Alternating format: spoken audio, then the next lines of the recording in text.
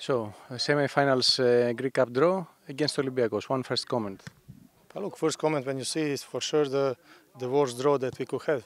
Olympiacos first first game home. We know that Olympiacos this year is playing the best football in, Greece, in Greece but uh, I like this. I like the challenge because we have see, we have shown already this year that against big teams that we can play good football and and even for me the Olympiacos is because of second home, home game small favorite but in cup there is actually no favorites and I'm looking forward me and and, and, and all all staff all players to those two games against them.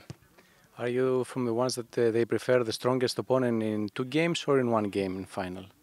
Well, look, in Cup uh, there is no favorites, there is no rules, there is no nothing. I think that uh, I'm happy. I think Olympiacos, this will be a big game for all supporters, for all city, and, and we are looking forward. I'm sure that we will play a good game, that we will play without respect, and uh, for sure that we will have our chances to, to pass to the final.